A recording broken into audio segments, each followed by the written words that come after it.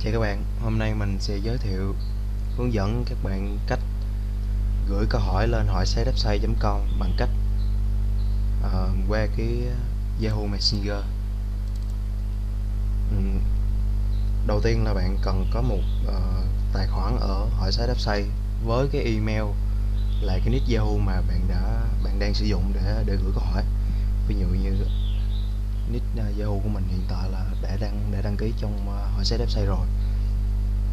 À, với cái ờ, tên tài khoản là nhất tiếu.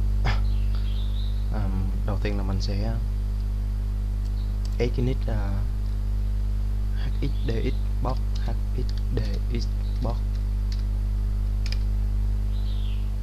cái cái Yahoo này. À, vào một cái group nào đó.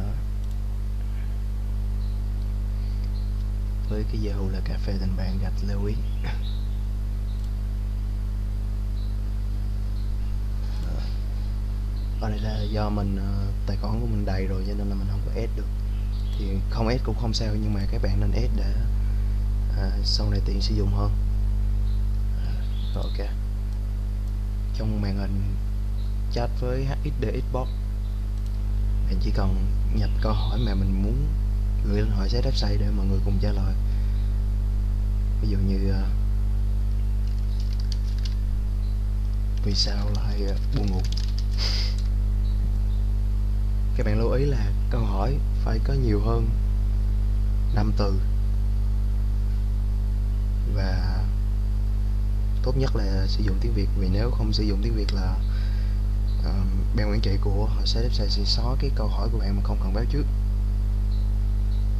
Nhập câu hỏi sau đó nhấn enter. HXD nếu mà cứ theo uh, các điều kiện là bạn cần có một tài khoản và tài khoản của bạn đang sử dụng cái email mà bạn đang gửi câu hỏi và cái câu hỏi trên 5 từ thì câu hỏi đó sẽ được gửi thành công. HXD Xbox sẽ trả lời cho bạn cái kết quả và bạn có thể bấm vào đây để xem câu hỏi mình vừa vừa. Vậy là xong rồi. Cảm ơn bạn.